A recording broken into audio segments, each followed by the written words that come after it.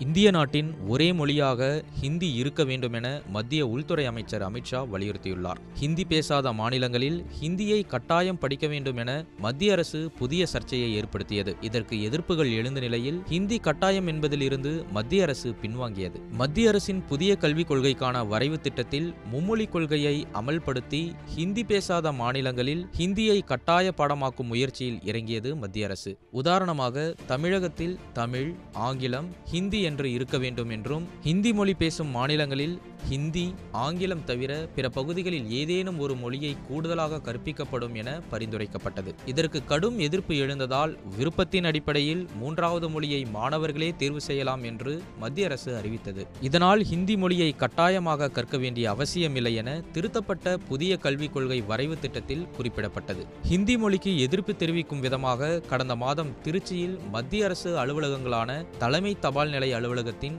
பெயர் பலகை தபால் பெட்டிகள் பிஎஸ்என்எல் அலுவலகத்தின் பெயர் பலகை விமான நிலையத்தின் வெளியே அறிவிப்பு பலகை ஆகியவற்றில் எழுதப்பட்டிருந்த ஹிந்தி எழுத்துக்கள் கருப்பு மையினால் அளிக்கப்பட்டு எதிர்ப்பு தெரிவிக்கப்பட்டது. இதற்கு முன் மத்திய அரசு தேர்வாணையம் நடத்தும் அஞ்சல் துறை தேர்வில் தமிழில் தேர்வு எழுதலாம் என்ற நிலை தேர்வர்களுக்கு இருந்தது. ஆனால் கடந்த மாதம் நடைபெற்ற தேர்வில் தமிழை நிராகரித்து ஆங்கிலம் மற்றும் ஹிந்தியில் மட்டுமே தேர்வு நடத்தப்பட்டது. இதற்கு கடும் எதிர்ப்பு எழுந்ததை அடுத்து தேர்வு ரத்து செய்யப்பட்டது. நாடு முழுவதும் ஹிந்தி மொழிக்கு கடும் எதிர்ப்பு தெரிவித்து வரும் நிலையில் மத்திய உள்துறை அமைச்சர் அமித்ஷா இந்திய நாட்டின் ஒரே மொழியாக ஹிந்தி இருக்க வேண்டும் என்று வலியுறுத்தியுள்ளார். இதுகுறித்து அமித்ஷா தனது ட்விட்டர் பக்கத்தில் ஹிந்தி நாளான இன்று நமது நாட்டின் அனைத்து குடிமக்களும் நமது தாய்மொழியை பயன்படுத்துவதை அதிகரிக்க வேண்டும். காந்தி இரும்பு மனிதர் சர்தார் பட்டேலின் கனவுகளான ஒரே நாடு ஒரே மொழி கனவுக்கு ஹிந்தியை பயன்படுத்துவோம் என தெரிவித்தார். மேலும் இந்தியாவில் பல்வேறு மொழிகள் இருக்கின்றன. ஒவ்வொரு மொழிக்கும் ஒரு முக்கியத்துவம் உள்ளது. ஆனால்